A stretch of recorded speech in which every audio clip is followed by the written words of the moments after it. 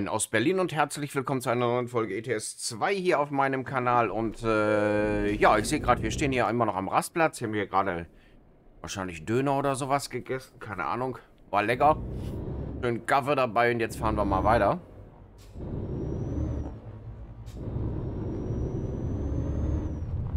So, gut, dass ich nicht sehe, was hinten passiert.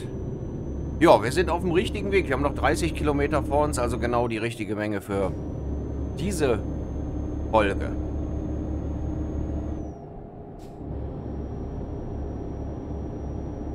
So.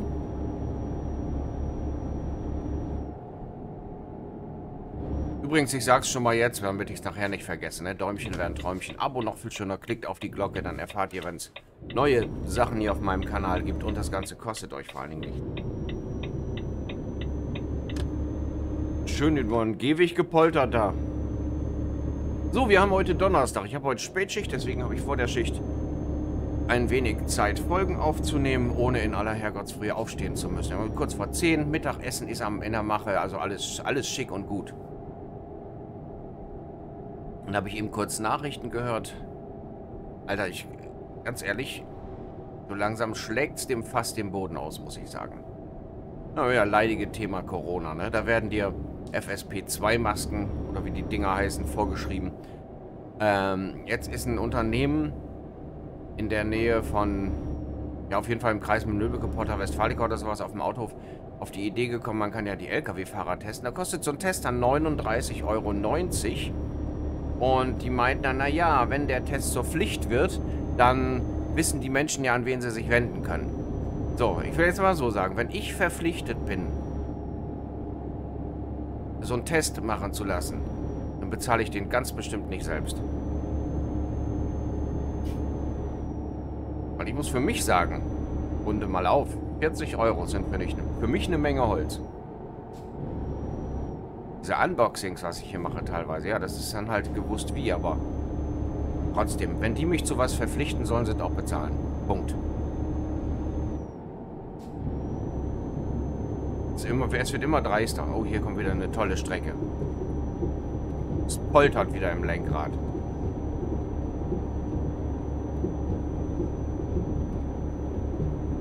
Achso, hatte ich gesagt, meinem Twitch-Kanal dürft ihr auch folgen. Zeit, dass ich mal wieder was mache. Ich, ich komme zeitlich einfach nicht dazu. Es ist ganz schlimm. Sollte viel mehr streamen.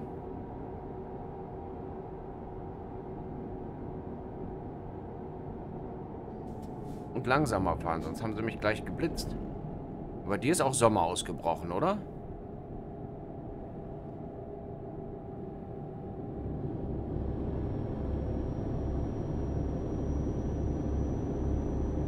So, was haben wir denn? Wir haben 2.39 Uhr.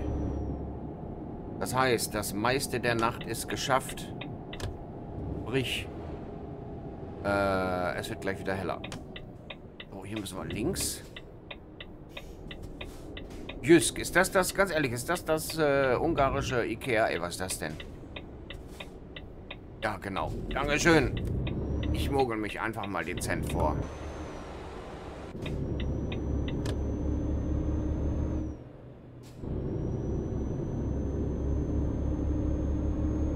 Dezent vorgemogelt. Anders kann man das nicht sagen. So soll das sein.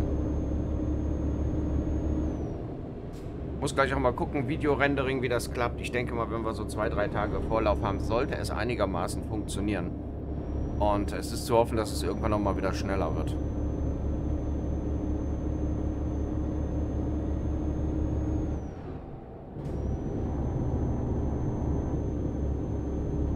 Wer also 4K gucken will, da braucht es mal etwas länger im Moment.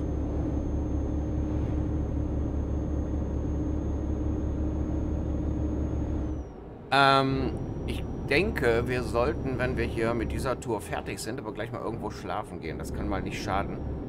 Vielleicht auch mal zwei Nächte hintereinander. Denn, äh, wollen ja bei Tageslicht fahren, das zum einen.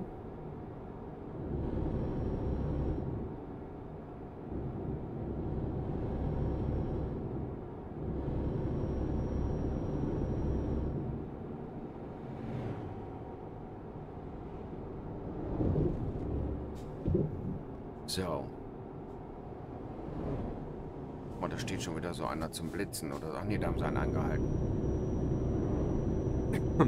Sehr mobil hier, die Polizei, ne? Also...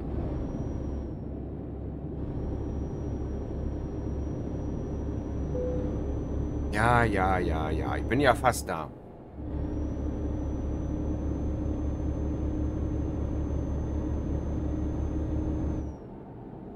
18 Kilometer. 20 Minuten. Ah, oben steht 23. Habe ich doch gut geschätzt.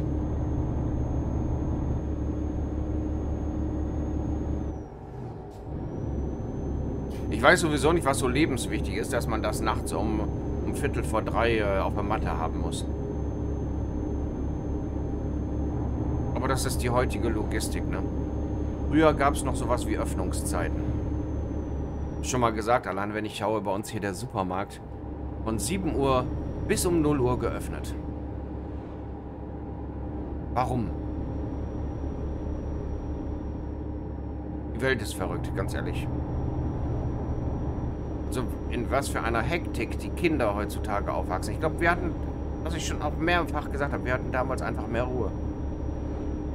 Es war ruhiger. Abends um sechs hatten die Läden geschlossen.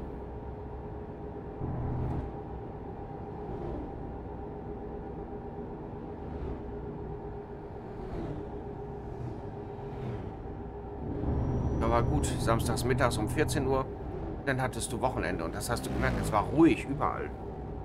Man ging dann ins Schwimmbad oder Essen oder Kino oder Freizeitpark, was auch immer. Auch in der Woche teilweise war Zeit, noch äh, abends meinetwegen noch ins, ins Schwimmbad zu gehen. Gerade im Sommer. Nicht? Da hatten die Mitarbeiter dann, die dann um, um keine Ahnung, um 6 Uhr angefangen sind, die hatten dann um halb vier Feierabend. Jo, dann ging es danach noch ins Schwimmbad. Das brauchst du heute nicht mehr machen. Das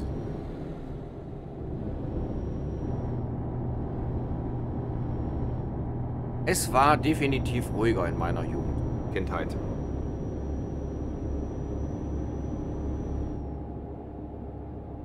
Und ich glaube, das wäre es auch noch, wird es das Internet nicht inzwischen geben. Es hat doch sehr, sehr viel verändert. Nicht alleine, wenn ich hier in Berlin sehe, du bestellst mal morgens bei Amazon zum Beispiel und abends hast du das Zeug auf der Tür liegen. Also.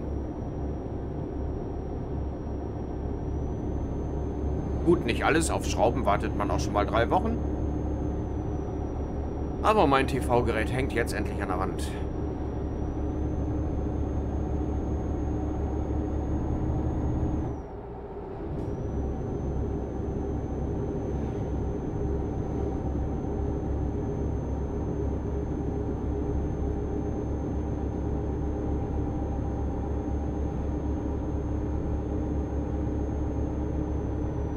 So.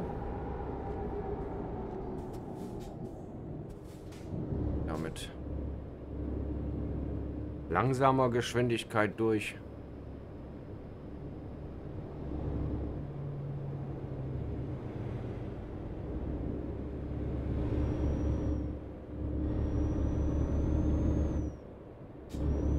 Aber hier sieht man auch schon wieder, hier ist eine Strecke, wo wir schon gewesen sind.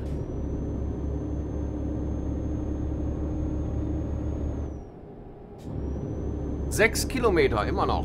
Ja, heute zieht sich das ein bisschen länger hin, glaube ich. Aber obwohl, wenn ich auf die Zeit gucke, knapp zehn Minuten, alles weg. Joa. Passt.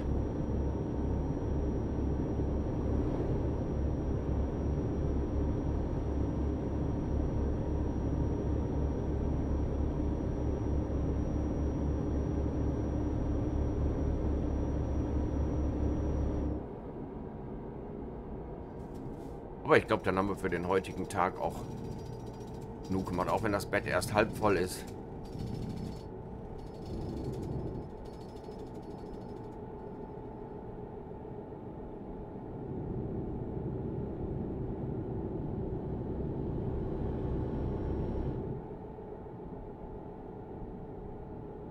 Sehr schön. Eine sehr schöne Fahrt heute, muss ich sagen.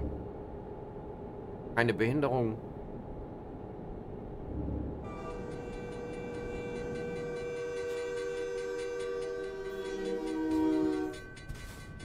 Ganz gut, dass wir das nicht probiert haben.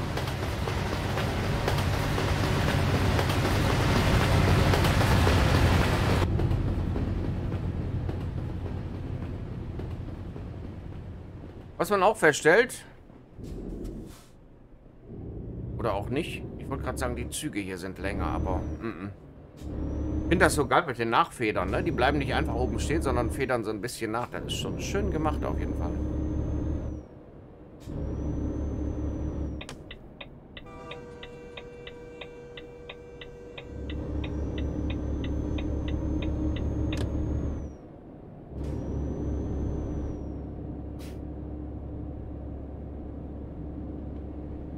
Schlafen noch alle. Kaum einer aufgestanden.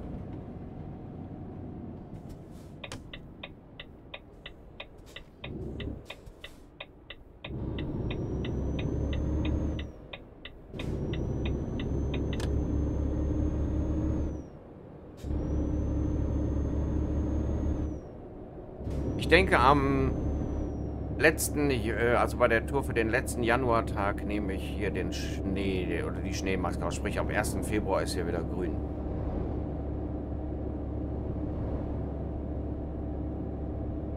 So, da ist das Fahndal schon vormarkiert, wo wir hin müssen. Jetzt nicht mehr weit.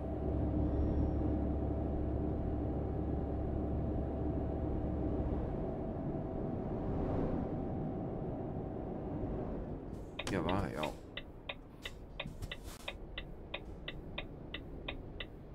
Oh, das ist ey, ja, das ist freundlich, du. Mein Gott. Wahnsinn. Und die hier hätten das Tor schon längst offen haben können, oder? Muss ich denn überhaupt hin?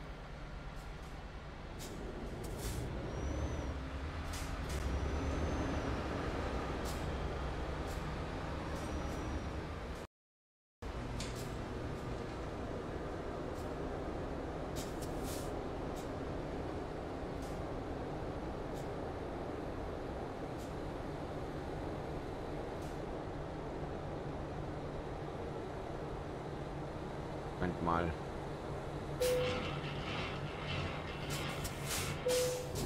Muss mal eben gucken, wo das Ding überhaupt hin soll. Dem, das kann ich im Moment nämlich überhaupt nicht nachvollziehen. Da hinten hinter oder was? Sitzt die Fahne aber völlig falsch.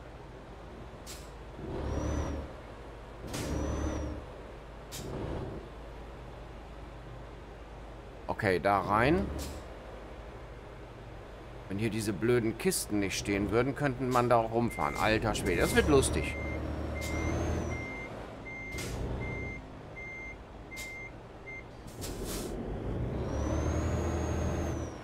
Echt die Frage, vorwärts hier reinfahren oder machen was? Ah, ich glaube, ich weiß. Ich habe so meine Idee.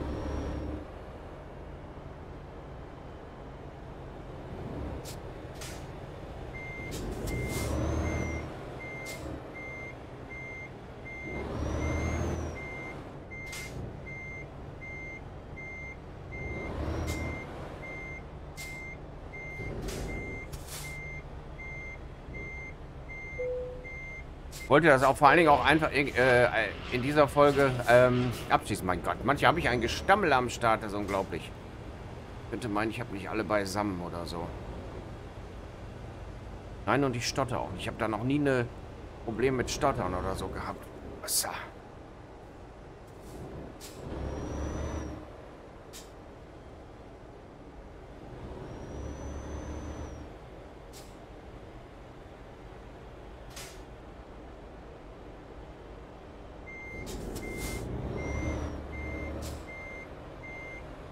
Zu weit einlenken.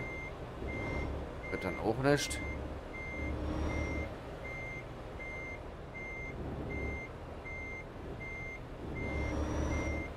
Also es ist teil teilweise, muss man sagen, was das Einparken angeht, ist das hier manchmal echt eine Herausforderung. Ne?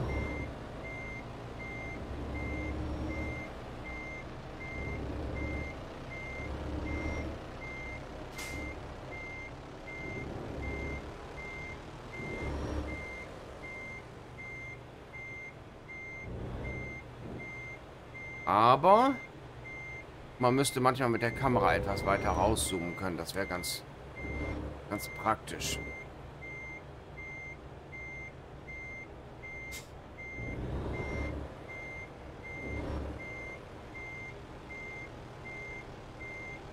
Kommen wir da rein, ohne den da anzuditschen?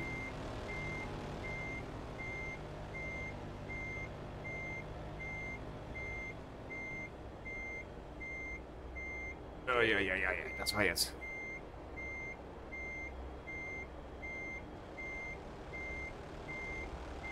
Ja, gar nicht so schlecht eigentlich, ne?